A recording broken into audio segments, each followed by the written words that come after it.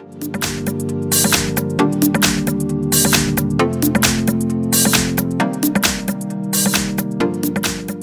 I have Alcatel Pop 4 and let me show you how to reset app preferences on the following device. So at the very beginning let's start by using the home screen.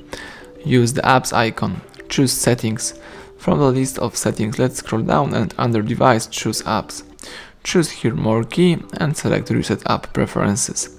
So this will reset all preferences for disabled apps, disabled app notifications, default application for actions, background data restrictions or any permission restrictions. What's also really important, you will not lose any app data. So if you are aware of this, let's choose reset apps. And basically that's it, everything went well, you can go back and start using your device in a normal way.